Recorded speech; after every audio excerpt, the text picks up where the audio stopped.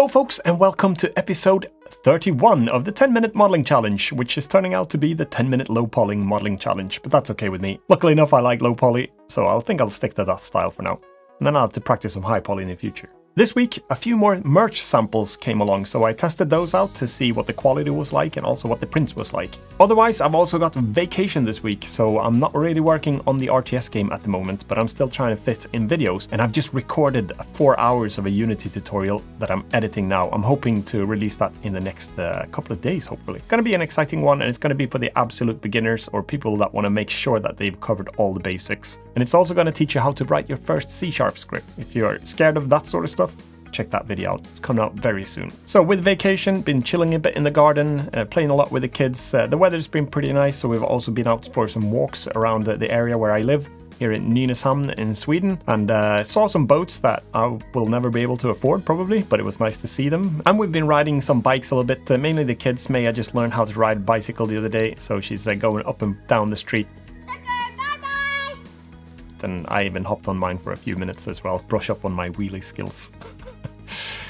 That said, we're going to go into today's topic. If you've seen those isometric pixel art images of uh, little city blocks or something like that, I guess it's a bit like a diorama. I'm going to model like a little slice out of a town and make it the, so it should hopefully look all right in isometric view. So basically that's just a orthographic non-perspective, but you have a, an angle to it. So it looks uh, a little bit weird sometimes but the style could look pretty cute as well, especially for pixel art it looks good. So maybe it'll work for low poly as well, who knows. So with that said, let's get started. Klara.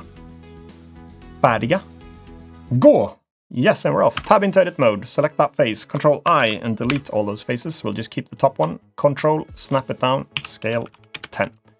Control R, let's make 19 loop cuts to keep it in sync here with the grid. Then 7 on the keypad, top view, and then let's select for some road segments here. Let's just do something like this.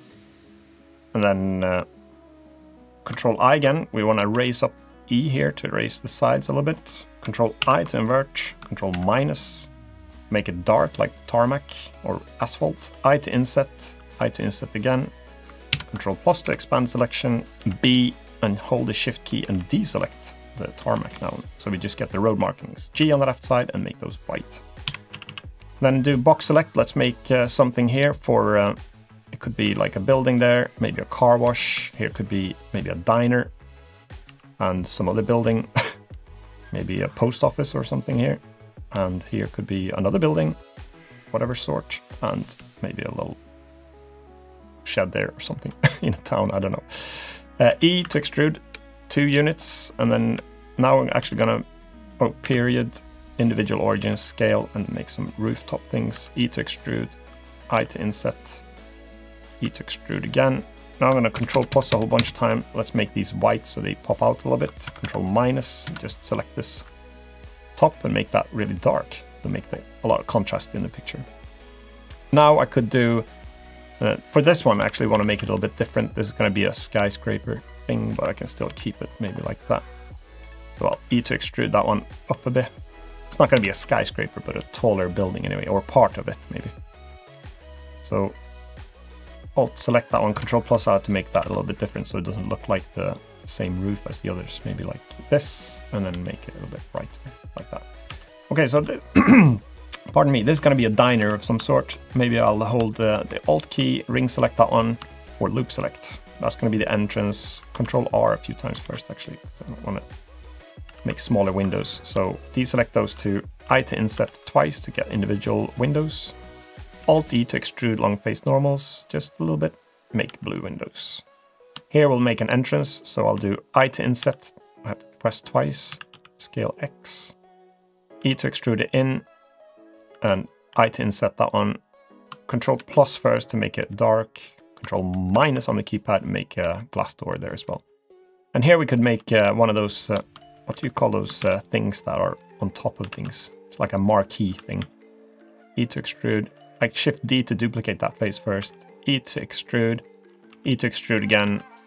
Move that face down. Control R. Let's do eight cuts. So we hopefully get an uneven amount here. Or is it even? I don't know. Shift Alt. Click select to loop select those. Shift select those.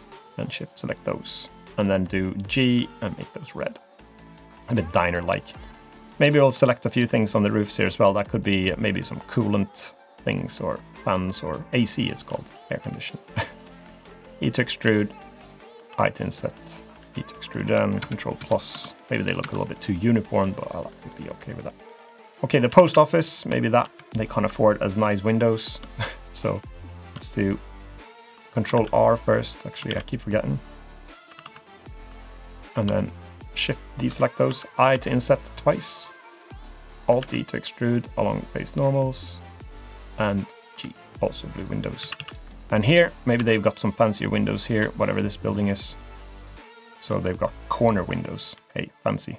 So I twice, Alt E to extrude long face normals. And blue as well. Okay, here's going to be the car wash. So I to inset that one, bring it down so the cars can actually get in. e to extrude inwards. Here I'll do, uh, let's make that dark in there. So G, move there. Here, Shift D, scale it down, and then uh, right click and subdivide that one, and then do F3 circle, that's the loop tool add-on, E to extrude, and then L to select length and make a red brush thing. Can a car even fit there? Scale, Shift Y, make it a little bit smaller maybe, like this. That should do. Okay, here, maybe a back door here. Not in like an IT security type of back door, just a, a literal back door. Maybe brown. Here could be also some shed maybe. Not a shed, why, why would there be a shed in here? I don't know. that could be a window. Okay, let's make a dumpster back here. Shift D, scale Y, move it. E to extrude, E to extrude again, scale, E to extrude. What does the dumpster look like? Maybe like this will do. I'll L to select the linked G. It has to be green, I guess. I to inset. Let's make an open one. E to extrude and move that one down to there. Make it dark there. Okay, so we've got a door here for the post office. I to inset, E to extrude. Maybe it'll do a little bit darker there, but they've only got one actual door here. I to inset that one, E to extrude. Well, it's going to be glass as well. Maybe we'll uh, make a little roof sticking out here. I to inset, E to extrude. Move it down maybe. Control plus, maybe it could be orange. So we've got the car wash there. Maybe that could have some utility boxes here. So I to inset that one, E to extrude, Control plus, let's make that great. Some water pipes and things. Okay, we have uh, the 354. Okay, I have to do something here as well. So this is going to be the entrance for this one. I to inset, E to extrude, I to inset. That goes in a little bit fancy entrance. Control R, Alt select these, I to select, I to inset twice to get individual. And now they can be blue as well. So that's going to be, okay, we have to have something down here as well. I to inset to make, let's see, Alt E to extrude long face normals. That could be something down there. Oh. Alt select these, I to insert these twice. I'm not sure what these look like. Alt E to extrude. That's it. Okay. And uh, three minutes. Okay, let's put a little, uh, maybe a flower bed or a grass, well, just something with some grass in here. I to inset twice, E to extrude. make it brown, like dirt. I to inset, E to extrude, Control plus, make it green just. And here it could be a fountain. They've wasted the, the postal stamp money here now on uh, the little fancy stuff in front of their building. E to extrude, I to inset, E to extrude. That could be like a little fountain. Red. Okay, and that's it. Here is a back door as well. I to inset, E to extrude, and make a brown one there. Maybe a bin here as well. Shift D, scale it down, make it green. E to extrude, S to scale, E to extrude. S to extrude, S to scale, E to extrude. And then I'll bring that one up to like that. So 2 minutes 15. Maybe they can have a, a wider window here as well. I to inset scale on the Z axis, bring it up, Alt E to extrude long face normals, and G to move it to a blue. Okay, we can put some text here maybe. So shift right click there, shift A, let's do text, rotate X90. we have to go into the A tab here and do geometry. We have to extrude it. Yep, there. And then shift space G, losing my voice again. So tab, we could say maybe car wash. And then we have to scale it down. And bring it in, move it out to. Okay, and then Shift D to duplicate that one. Let's put uh, text here as well. They've used the same sign company apparently. so it's going to look very similar. Bring it up to there, but it can't say car wash there. It has to say, what, little diner or something? Little diner. Creative name. Not. One minute to go. Okay, so I have to colorize this. Maybe it should look a little bit more interesting. Right click and do convert to mesh. Right click, convert to mesh. And then we have to pick both of these and change their shading to uh, the same material here. Material, so we can colorize them. Tab, A scale, zero on the left here. Okay, we've got a, a problem here. So shading, come on, why didn't it change the material? Here, did that one? Yeah, that one worked. Scale zero on the UVs. Let's make it red. And again, it's literally the same sign company because this one's red too. so 32 seconds to go. Let's uh, duplicate this bin here. Like Shift D, they need a bin maybe there as well. And they have to have a bin over here. Rotate. So a little bit on this slant there. Okay, and they can have like a little entrance thing here as well.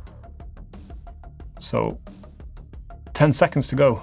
Shift D, move it in, scale, scale Z, E to extrude. L. Ah, that's it.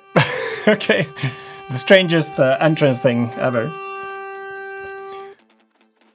Okay, and we tab, and now we have to look what it looks like in isometric mode as well. So, because uh, this is still perspective, but if I press 5 on the keypad, it'll probably look a bit strange.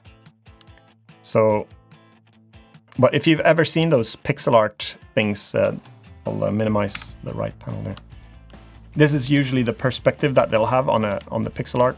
What do you think, guys? Does this look super weird to you? If I go back into perspective mode, it feels a little bit more like it should. And I was thinking this was just the lower part of a building, so I didn't necessarily go for any details up there. I wanted to frame it something like this, just so you could have something shooting out of frame a little bit. So I'd, I'd, I still prefer it with real perspective. But again, I'd love to hear what your comments are. So put in the comments, guys, what you prefer. Do you like the isometric, non-perspective one, or do you like the perspective view here? So let's see what the comments say. Nothing groundbreaking in this episode. Uh, it was uh, stuff that you've seen all along, all the time. It's gonna be. It's a lot of E to extrude, S to scale, I to inset, I to inset, and, and often I press twice on I to get the individual insetting, and then Alt E to extrude along the normals inwards to get the windows. So what should the tip be then? Something that I made a little bit different, even if it's not that groundbreaking, and you might not already know this, but this is the first time I've used text in one of my scenes. And to use text, I did uh, Shift right click to place my 3D cursor, and then I did Shift A, and then I added text. And it's a bit strange, and maybe you don't really know how to edit this text, because I would have maybe expected it to be like a text input field here on the right when you have this text uh, one, the object data properties here selected. But the way to edit the text is actually the same way you edit objects. So you press tab on the object and you get a little cursor here. So maybe that's a little bit confusing, but then you can delete the text and put low poly here. And now it's a bit hidden. So I'll tab out of edit mode and then see there. And by default, this one is really, really flat. So uh, there's also here, you can go into, uh, like I did in the video. Let's see, where was it? Geometry, and then you can just slide this extrusion one up here, and that'll make it thick to be a, a 3D object. And then this is actually a, some sort of a, a text shape now. So it's not a, a, real mesh, so you can't press tab into edit mode to edit geometry or uh, things like that. So what you have to do, because if you press tab, you get to type in the text here. So what I did then was I right clicked on it and then did convert to mesh. And now if I press tab, then I actually see the, the polygons. So it becomes a 3D object then.